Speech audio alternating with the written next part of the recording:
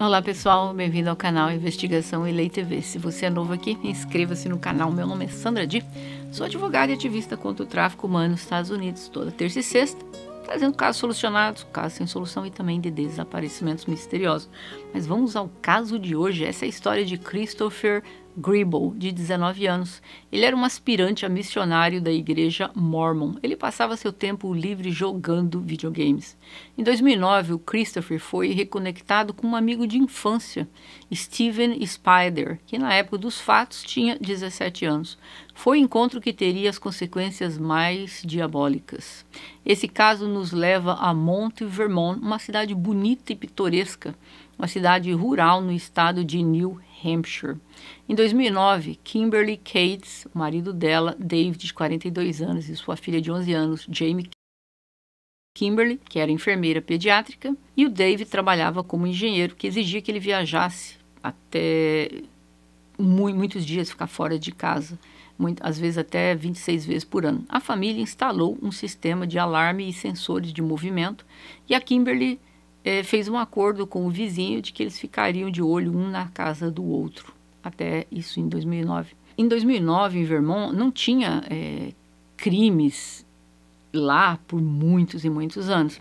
Então o David partiu para uma viagem a negócios para Maryland, deixando a Kimberly e a filha dele, Jamie, sozinhos em casa. As duas iriam passar o sábado juntas. Mãe e filha costumam dormir juntas no quarto quando o pai está viajando. Naquela noite, o David mandou uma mensagem a Kimberly dando boa noite e a Kimberly respondeu é, que elas tinham planos de ir ao shopping no dia seguinte e talvez no estúdio de karatê onde a James praticava seu novo esporte favorito. No dia seguinte, às 4h15 da manhã, o sargento Kevin Furlong recebeu um pedido de ajuda mútua do despacho do condado de Milford sobre a suspeita de uma invasão domiciliar o despachante não conseguiu dizer os detalhes. A pessoa que ligava estava chorando baixinho. A polícia, ao chegar, olhou pelas janelas da frente e viu na cozinha uma criança por detrás de um balcão de cozinha e tinha a cabeça toda ensanguentada. E ao lado, uma mulher deitada, caída no chão, coberta de sangue. O sargento Furlong disse que a Jamie estava tentando gritar, mas não saía som da voz dela. E quando ele chegou perto dela, ele disse que ele era um policial e estava ali para ajudá-la. O que a James contou é que homens entraram na casa e ela disse que eles tinham um objeto cortante e um taiko de beisebol que usou contra a mãe dela. E ela, e ela escreveu que ela estava com a garganta cortada. James foi levada para o hospital. O marido da Kimberly foi acordado com a notícia que alguém havia tirado a vida da esposa dele e a filha dele estava gravemente ferida. Ela sofreu ferimentos horríveis na cabeça, braços, tronco, recebeu 18 vezes, 18 cortes e foi com tanta força que ela teve a mandíbula quebrada, o crânio rachado e um pulmão perfurado e parte do seu pé estava faltando. Mas James sobreviveu e ela estava lúcida o suficiente para contar à polícia todos os fatos aterrorizantes que havia acontecido. Ela começou a contar o que havia ocorrido. Ela disse que a mãe dela começou a gritar que a mãe dela havia sido atacada por um, um bastão de beisebol e que um homem também havia a atacado a própria James com um objeto cortante, que a mãe dela lutou muito, implorando e proteger, pra, dizendo para, tentando proteger a James e pedindo que não fizessem nada. Mas ela foi acabou, os caras não tiveram piedade, ela dizendo que podia levar o que ela tivesse, joias, carro, o que tivesse eles dariam, mas eles simplesmente não quiseram. Eles foram lá para coisas piores e acabou tirando a vida dela. E a James disse que ela se fingiu de morta. Ela fingiu que estava ali sem vida, deitada no chão. E eles acabaram é, saindo, indo embora. E foi aí que ela conseguiu ligar para a polícia. Foi revelado na autópsia que a Kimberly havia sido atingido na cabeça e no tronco 38 vezes com um objeto que se acreditava ser um objeto cortante e também tacos de beisebol, que acabaram afundando até o cérebro dela, para vocês terem ideia. E durante a maior parte do tempo, a James, de 11 anos, deitada ali no chão, fingindo não estar viva. Ela assistiu tudo. Ela disse que veio o um momento, né, quando a mãe dela acabou perdendo a vida. Não posso nem imaginar a cabeça dessa menina hoje. Esse jovem que fez esse ataque brutal, são vários jovens, mas o que fez mais estrago ali foi o Steven Spader, de 17 anos. Ele acreditava que a Jamie estava sem vida no chão, então ele caminhou até ela, bateu na cabeça dela, vocês não vão acreditar, com um facão dizendo: Ah, estou entediado. Isso mesmo. Durante o ataque, Christopher mencionou que o quarto lembrava de uma cena de crime de um programa de TV.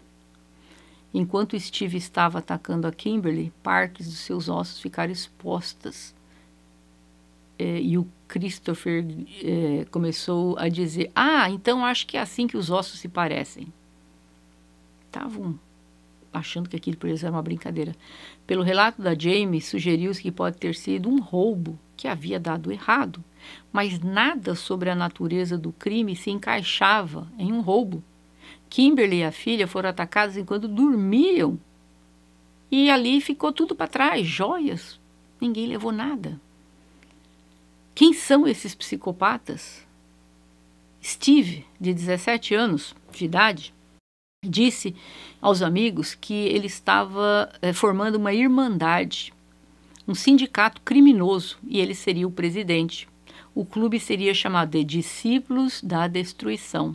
E o Steve nomeou seus primeiros recrutas, o Christopher Gribby, de 19 anos, William Marks, de 18 anos, Queen Glover, de 17 anos. O objetivo do clube era ganhar dinheiro. O Steve fez uma declaração escrita de missão e contendo uma lista detalhada de objetos e estatutos. A lealdade e a fraternidade eram a chave, e seus novos membros precisariam cometer uma invasão domiciliar para se juntar ao grupo. Mas caso alguém estivesse presente na casa no momento, eles teriam que tirar a vida dessas pessoas e todos os amigos concordaram. Os amigos do Steve disseram que o Christopher fazia tudo o que o Steve queria. Quando criança, os pais do Steve disseram que ele era gentil, extrovertido, brincava com as crianças da vizinhança, participava da escola musical, mas sua mãe, Christine, notou uma mudança radical do Steve durante o ensino médio. Ela disse que ele mudou da noite para o dia. Para alguém que já não era mais controlável, e que tinha grandes problemas de mudanças de humor. Durante uma das discussões com seus pais, ele havia apontado um objeto cortante para seu pai. Em outra ocasião, ele pegou dois objetos cortantes e começou a usar nos balcões da casa dele, da pia e danificando tudo. Ele raspou a cabeça, ganhou a péssima fama na escola e ninguém queria mexer com ele. Os pais dele o levaram para ver psicólogos e um dos médicos psiquiatras o tratou e disse que ele tinha traços de transtorno de personalidade limítrofe e antissocial. Um psicopata. Ele passou a frequentar uma escola particular mais exclusiva, mas ele desistiu em meados de 2009 e foi preso por posse de substâncias ilícitas e começou a falar abertamente aos seus amigos sobre efetuar roubos, tirar a vida de pessoas. Ele elaborou o plano e naquela fatídica noite de 3 de outubro de 2009, o Christopher junto com Steve, William e o Quinn invadiram uma casa aleatoriamente e teriam que aniquilar qualquer um que estivesse lá dentro. O plano foi executado e a casa escolhida foi a casa da Kimberly Cates, que tinha 42 anos na época dos fatos. Christopher Gribble, ele nasceu em Utah, filho de Richard e Tamara Gribble. Christopher acredita que Tamara não é realmente a sua mãe biológica, apesar de ambos os pais testemunharem que eles são sim os pais biológicos dele. Ele diz que a mãe o punia fisicamente se ele fazia algo errado quando era criança, e ela nega isso, disse que nunca houve esse tipo de, de, de tratamento dentro de casa, que ela era uma pessoa, jo, é, uma pessoa dócil. E ele, no julgamento, disse que a mãe dele, em público, que ela é uma pessoa doce e charmosa, mas boa para enganar. O Gribble começou a desenvolver traços mais raivosos e irritáveis em casa quando confrontado por seus pais por algo que ele poderia ter feito de errado. Ele sempre negava ser o responsável e sempre acusava os outros. Ele disse que aos 14 anos ele pensou pela primeira vez em eliminar a mãe dele.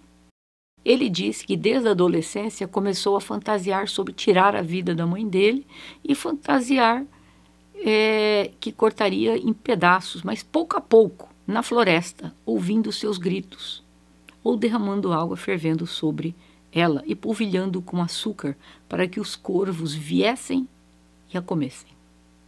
E o pior é que ele confessou essas fantasias a um conselheiro enquanto estava em um acampamento de cadetes os pais o levaram para uma avaliação de saúde mental porque o cara contou.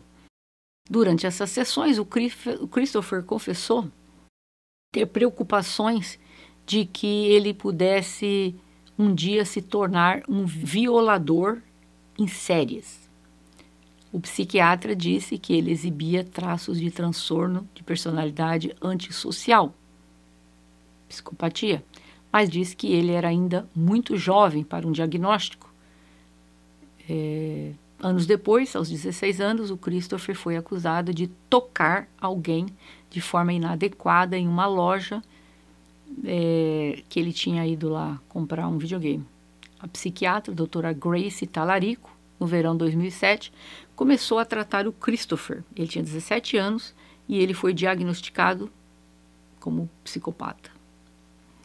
Ele parou de ir à terapia porque achava que nada poderia ser feito para tratá-lo. Ele se recusou a, uh, a fazer qualquer coisa que os pais falassem que era para ele fazer. Ele se recusou a contar aos seus pais qual foi o resultado do que o psiquiatra tinha falado para ele. E os pais não conseguiram descobrir, porque é proibido o psiquiatra contar para os pais é, é, o que, que o paciente tem por preservação dos direitos do paciente. Mas o psiquiatra uh, disse à mãe que ela teria que tomar muito cuidado com ele, que ele havia feito menção que queria eliminá-la. Mas o psiquiatra, ao mesmo tempo, disse assim: às vezes jovens também falam coisas por falar.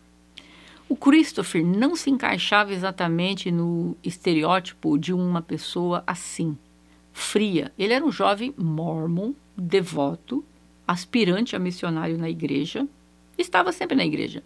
Ele viveu uma vida protegida, nunca teve nem mesmo uma multa de estacionamento.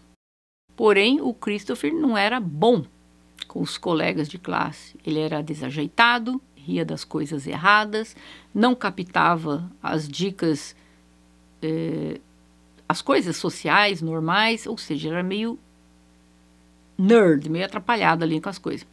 Segundo o pai dele, o Christopher não falava muito, mas quando falava, ele falava sem parar. Ele era inteligente, eloquente, mas teve problemas para fazer amigos. Ele cresceu sozinho e ele culpou a sua mãe, que tinha escolhido educá-lo em casa, ao invés de mandá-lo para uma escola. Então, podemos dizer que ela é meio que socialmente disfuncional. Os amigos do Christopher o escutaram falando muitas vezes o que ele queria fazer com a mãe dele. A certo ponto na vida dele, ele teve uma discussão com a mãe dele e ele acabou indo morar na casa de uma família da igreja. Mas essa família diz que todas as amigas da família, as adolescentes, pararam de ir na casa por causa dos comentários inapropriados que ele fazia para as meninas o casal também não o quis mais lá na casa. Ele começou a usar substâncias ilícitas, uniu-se a um grupo de adolescentes problemáticos e ficou ainda pior. Ele vivia dizendo que queria eliminar pessoas, entrar na casa, tocar fogo nelas, vivas, comer partes dos corpos, fazer uma cena para mostrar para a imprensa. A polícia recebeu várias pistas do ocorrido e uma delas veio de um jovem que também tem o nome de James. A filha dele do casal é James, mas uma moça, é que esse nome é usado tanto para homem como de mulher nos Estados Unidos, Jamie, 22 anos. Ele estava na casa de um amigo na cidade vizinha, aonde ele ouviu dois conhecidos conversando sobre ter acabado com uma mulher e a filha dela, em Monte Vermont, e que a dupla disse que era apenas o começo. Ele disse que conversou com esses dois homens e que eles estavam muito animados. Eles disseram que esses homens eram Steve Spider e Christopher Gribble. Mais tarde ficou provado que os outros que estavam na casa, eles assistiram a tudo, mas não fizeram nada para impedir. William e o Queen. Eles estavam em quatro. Os dois que barbarizaram a família, mas os outros dois também não fizeram nada para impedir. Com essa dica desse rapaz, a polícia fez a prisão do Christopher. No momento da prisão, o Christopher estava vestindo equipamento de camuflagem, ele foi bem cooperativo com a polícia.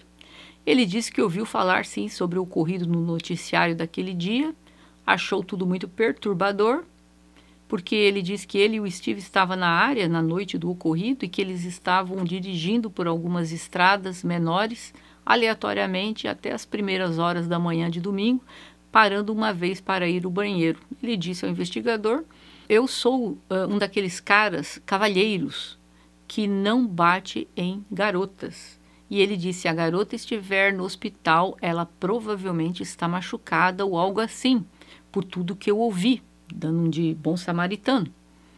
Aí o investigador sabia que ele era o autor e disse: Christopher, eu quero que você saiba que ela vai sobreviver. E isso é muito bom, porque ela merece estar viva, ele disse, o rapaz, né, o, o, o psicopata. Sabe o melhor ainda o que, que é? O policial falou para ele: é que ela vai poder identificar você. E o Christopher friamente respondeu: Isso seria incrível. Espero que vocês possam fazer isso. Uma busca no carro do Christopher descobriram um grande objeto cortante: uma corda, sacos de lixo, pá, 200 dólares, que ele recebeu de uma loja de penhores quando o Christopher foi confrontado com o recibo, porque ele, ele acabou levando um, um, anel lá da casa e vendeu. E a casa de penhores disse, né, que foi ele. E depois foi visto que o anel era realmente da Kimberly. Aí quando a polícia falou, nós temos o papel do, do penhor aqui, que você vendeu o, o anel dela, e ele meio que ficou assustado. Já os outros dois rapazes contaram à polícia em detalhes tudo como ocorreu. E a história do Christopher não batia com a história dos outros dois amigos. E o investigador disse para ele: Olha, eu estou te dando a oportunidade de nos contar de uma vez por toda.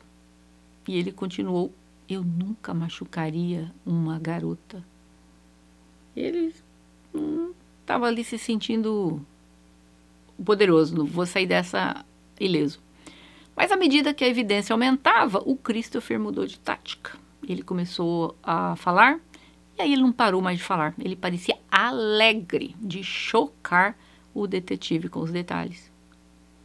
William e o Queen alegaram que nunca tiveram a intenção de tirar a vida da Kimberly e a tentativa contra a vida da Jamie, que eles ficaram lá apenas para roubar a propriedade. O Christopher disse aos policiais que alguns dias antes do ocorrido, Steve e William tinham visitado, eh, tinham dirigido procurando uma casa certa para assaltar. Eles encontraram a casa perfeita, uma casa grande, estilo rancho, com um trator na garagem, um local isolado na estrada, de pedras. Ele achou que ali era o local perfeito. O Steve estava prestes a fazer a coisa mais maligna que a cidade já tinha visto. A defesa do Christopher alegou que os ferimentos da Kimberly foram causados pelo objeto cortante supostamente usado pelo Steven, mas o Steve esclareceu que ambos causaram os ferimentos finais da Kimberly. O júri viu fotos gráficas do corpo da Kimberly e, e algumas imagens chocaram determinados jurados que eles tiveram que interromper na hora que estavam mostrando, porque foram chocantes. O médico legista disse que ninguém poderia ter sobrevivido ao que ocorreu com ela. O promotor perguntou ao Christopher se ele sair da prisão ele poderá tirar a vida de alguém. Vou colocar um vídeo aqui para vocês que, que verem aqui a tradução. Um, mas para quem está de headphone, basicamente, mas eu quero que vocês ouçam da própria, com a voz dele. Ele disse: possibilidades podem ser uma dessas milhões de coisas, mas eu sei que é possível. E se eu sair da prisão, eu penso que é possível que eu vou tirar a vida de alguém. Possibility is one of those sort of million to one sort of things. But I know it's possible. And if I did get out, I think it is possible that I could kill again. Christopher tentou a cartada de que ele estava insano no momento do ocorrido, mas não colou. Ele era tão mal que, mesmo na corte, na hora do julgamento, ele ficou brigando com o promotor e dizendo: Eu vou me adaptar eventualmente à prisão, mas eu acho que seria preferível e melhor que eu conseguisse algum tipo de ajuda psicológica. O promotor disse: Você está dizendo que você é legalmente insano? E ele disse: Sim. Um psiquiatra disse que o Christopher não sofre de nenhum tipo de doença mental, não tem delírios, não é incapaz de controlar seus comportamentos, mas que ele era manipulador e mentiroso. You're a dangerous guy, right? I could be considered dangerous, yes. You actually told Dr. Yotanis about a month ago that the people in the jail have no idea how dangerous you are. No, they don't. Is that one of those times when you did that smile? Is that one of those times when you can kind of fake your body language? You No. No, I smile because it's funny that all the people in there have no idea who they're messing with. O Christopher e o Steve pegaram prisão perpétua sem chance de liberdade condicional. O William e o Quinn foram condenados 11 anos de prisão. Foram acusados de conspiração e assalto, mas não do ocorrido com a Kimberly e a Jamie. You stood in that doorway and you watched them both attack those people, didn't you? Yes. Did you once, just once, try and stop them? No. Try and help No. him or Jamie once? No. he wanted to do. breaking into houses and he talked about eating people roasting people putting heads on stakes uh, making scenes for the press it was Did he ever use the term sleeping over? he did sir And what did you take that to mean, sleeping over people's houses? staying over the night with the bodies making a scene doing things like Quando a Suprema Corte dos Estados Unidos proibiu a prisão perpétua para menores, o Steve recusou a oportunidade de apelar para uma redução de sentença e disse: Eu sou a pessoa mais doente e perversa que você já conheceu. Eu não mereço uma segunda chance. Você acredita nisso? Ele não quis recorrer, ele acha que ele tem que passar o resto da vida na prisão.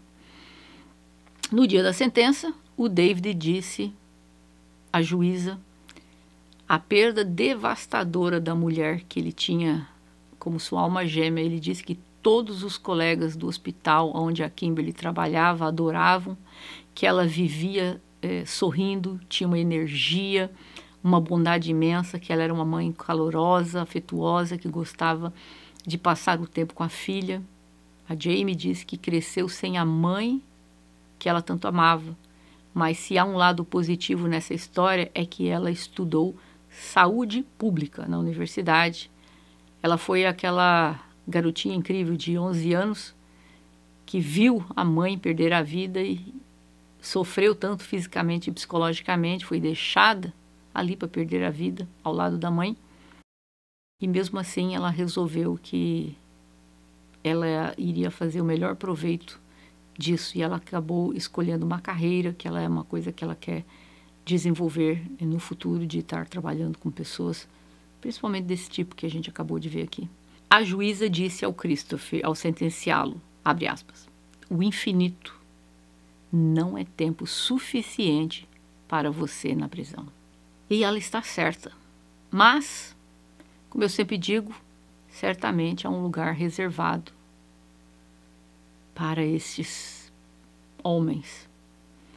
Eu achei absurda. Tudo bem que o William e o Queen eh, não praticaram de tirar a vida, mas não vamos esquecer que quando eles foram para lá, eles não assinaram aquela porcaria daquele contrato fajuta deles. Qual que era o contratinho deles? Nós vamos lá para roubar. Mas se alguém tiver vivo dentro da casa, nós temos que tirar a vida. Era essa. Mas receberam 10 anos de prisão cada um porque eles resolveram colaborar na acusação, fazendo a acusação dos outros dois. Então o Queen e o William eles estavam lá e eles não fizeram nada para impedir. E eu só acho que eles teriam que ter pego uma pena muito maior. Uh, esses dois jovens, eu acho que 10 anos foi pouco, pelo menos uns 25 anos eles deveriam é, ter passado na prisão. É muito triste o que aconteceu, muito, muito, muito triste mesmo. Mas que menina linda que ficou a Jamie, seguiu a vida dela, ela não deixou que um que essa tristeza viesse acabar com a carreira dela, com o futuro dela, mas deve ser muito triste o trauma que ela sentiu, é, ver tudo aquilo ali, né? Mas é esse é o caso de hoje. Eu gostaria de saber de vocês. Vocês acham que os dois amigos, apesar de não terem é, tirado a vida das duas, mas eles estavam lá dentro e eles sabiam o que eles tinham ido fazer, não fizeram nada. Vocês acham que a pena de 10. Um foi. Os dois receberam prisão perpétua, mas você acha que a prisão de 10 anos foi suficiente para esses dois, apesar de não terem tocado nas duas? Ou vocês acham que eles mereciam uma pena maior? Eu gostaria de ouvir de vocês se vocês acharam esse caso interessante. Não deixe de deixar o gostei aí, para o YouTube entender que esse vídeo é bom e recomendar para outras pessoas. E lembrando quem está com headphones aí que tem os vídeos aqui com as traduções do que aconteceu lá no, na corte, tá? E nos vemos. Bye!